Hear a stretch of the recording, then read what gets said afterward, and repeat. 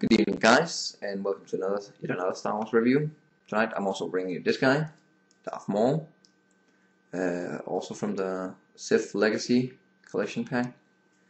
Um, this time uh, it's a Darth Maul without a robe on, uh, which makes him pretty cool. You can see all the Sith tattoos he's been tattooed with.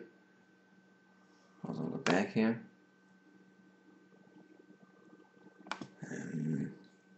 He's really an amazing model.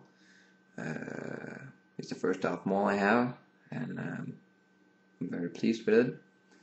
Uh, he's super well articulated, and uh, he's well made in general. Everything about him is just awesome. Um, he's got a ball joint neck, ball hinged shoulder, ball hinged elbow, and a swivel arm here.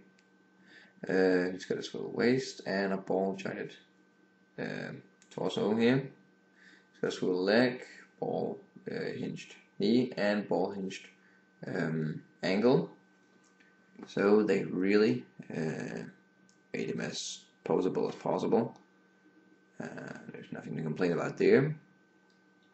Um, comes with this lightsaber also, which is well made. Um, can't really find much to complain about with this guy. Really, really amazing. Uh, and Darth Maul is one of my favorite Sith Lords. Uh, only beaten by a very, very few. Um, so I was very anxious to get this model um, in the package. Uh, I was quite surprised by him uh, his articulation and just generally how uh, well made he is. Let you have another look here, all the way around.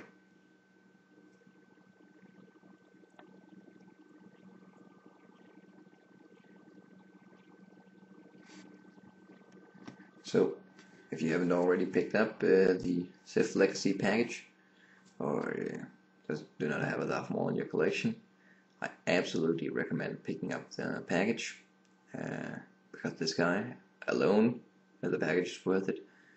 Um, his posability, his looks,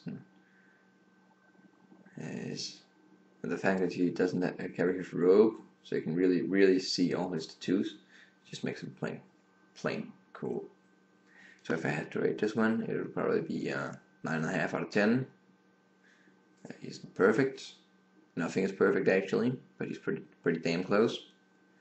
Um, so I hope you enjoyed this, and um, until the next time, may the force be with you all.